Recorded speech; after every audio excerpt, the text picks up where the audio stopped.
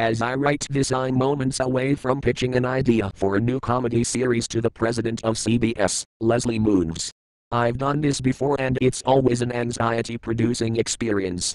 Months of work can evaporate in seconds if he does not respond favorably. To make matters worse, I always know when I'm getting a negative response, because Les has what poker players call a subtle tell. When he doesn't like something, he frowns. Many of the people who work for him are familiar with this tell. When they see it, they respond with a tell of their own, they start examining their shoes, as if they've never seen them before. Anyway, I have to go to the meeting now, keep your fingers crossed. Okay, I'm back and I think it went fairly well, no perceivable tell. I did make an amateur mistake by telling Les that he and I drive the same cool car, but he didn't seem to hold it against me.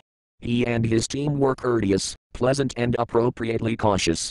They ended the meeting by saying they looked forward to seeing a finished script before making a final decision. Hold on, my cell phone is ringing. That was Peter Roth, president of Warner Brothers TV. Apparently, moments after we left the building, Les told his executives he liked the idea and to move forward on it. Our project has received a green light. In a matter of seconds, my anxiety about pitching it has transmuted into anxiety about writing, casting, shooting, editing, waiting to find out if it gets on the fall schedule, and, if it does, juggling two shows, promotion, staffing, time slots, and ratings, not to mention worrying about whether Les will be pissed off when he reads this vanity card.